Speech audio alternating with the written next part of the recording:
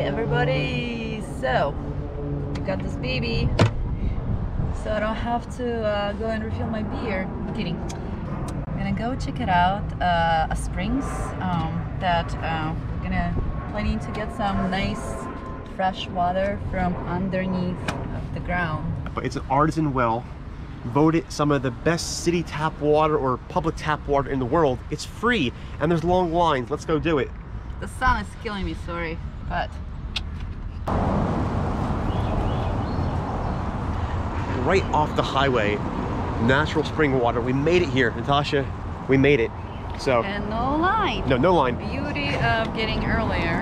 Attention. Please limit to 20 gallons per person if there is a line. So no line, so but we only have a, a big Because I'm gonna dump it on her head like she won the uh, Super Super Bowl. oh, no, not that cold water.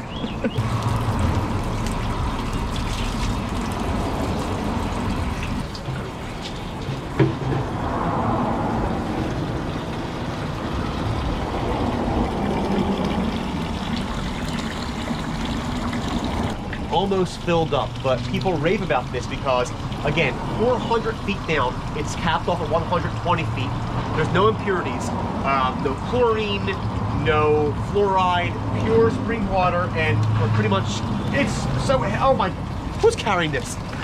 Who's Uh, we hope this not gonna like Leak. turn Oh around on our God. car, so better secure it. Let me try the water first, too. Ready? Yeah. Try it.